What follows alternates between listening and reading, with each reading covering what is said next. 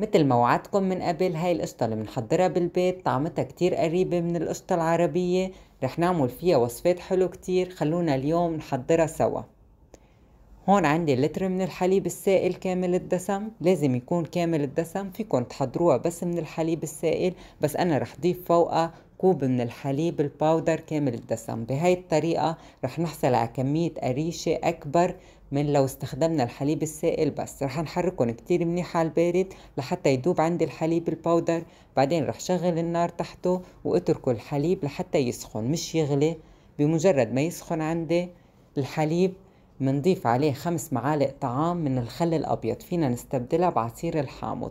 لا تخافوا ما رح تظهر طعمة الخل أو الحامض بالقريشة.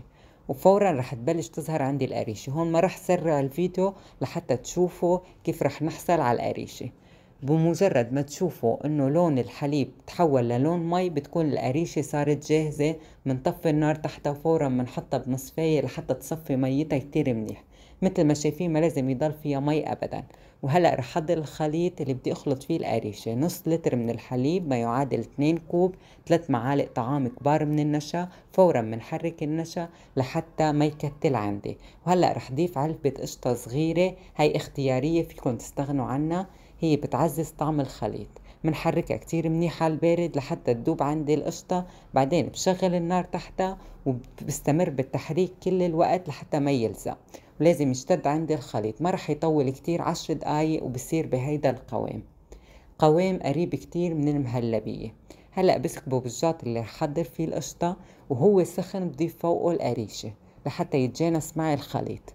ومنبلش منحركه رح فرجيكم قوامه قبل ما دخله على البراد وبعد ما دخلته على البراد.